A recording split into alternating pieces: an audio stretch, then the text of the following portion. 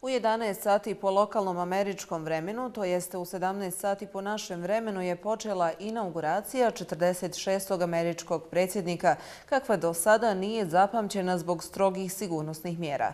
Joe Biden i Kamala Harris su položili zakletve i zvanično su preuzeli funkcije predsjednika i podpredsjednice Sjedinjenih država, a Trump se već vratio na Floridu. Iako su neredi bili očekivani, inauguracija protiče u miru uz manje incidente. Evo kako je protekao dan inauguracije. Uz najstrožije sigurnosne i epidemiološke mjere, na dužnost 46. predsjednika i podpredsjednice Sjedinjenih američkih država stupaju demokrate Joe Biden i prva žena i prva afroamerikanka na poziciji podpredsjednice Kamala Harris. Prethodni period za dolazeću i odlazeću administraciju je bio buran, a strogim sigurnosnim mjerama je presudila pobuna i upad Trumpovih pristalica u Kapitol 6. januara. Tako je umjesto 200.000 posjetilaca na Poljani National Mall postavljeno isto toliko američkih zastava, a ceremonija inauguracije nazvana Ujedinjena Amerika se prenosi online i putem svih TV stanica osim Foxa. Oko Kapitola je raspoređeno oko 20.000 pripadnika nacionalne garde kao i policijskih službenika i ostalih sigurnosnih službi. Dan prije inauguracije Biden se kroz suze sjetio svog sina Boa Bidena, koji je 2015. preminuo od posljedica tumora mozga, te je poželio da je on živi da ga proglašavaju novim predsjednikom. Trump je u svojoj oproštajnoj poruci poželio svu sreću novoj američkoj administraciji, međutim, nijednom nije spomenuo ime novog predsjednika Bajdena. Od Amerikanaca se oprostio i Mike Pence, Trumpov podpredsjednik, ali on u svojoj oproštajnoj poruci nije spomenuo Trumpa.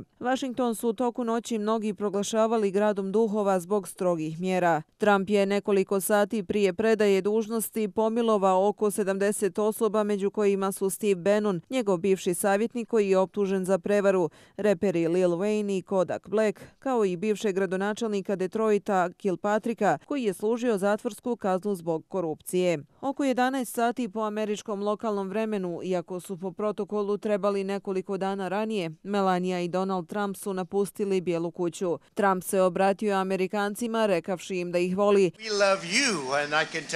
te da će se u politiku vratiti u u nekom obliku. Nakon toga je sa suprugom sjeo u avion za Floridu, čime je ispunio obećanje o nedolasku na inauguraciju svog nasljednika. Trump je ispunio barem jednu tradiciju, pa je svom nasljedniku u Bijeloj kući ostavio pismo. Bush je jedini republikanski predsjednik koji je došao na inauguraciju, a prisustvuju i Bill Clinton kao i Barack Obama. Netom prije inauguracije evakuisana je zgrada Vrhovnog suda koja se nalazi preko puta Kapitola zbog dojave o bombi. Biden i Harris su u pratnji supružnika stigli u Capitol, a nacionalnu himnu je otpjevala Lady Gaga.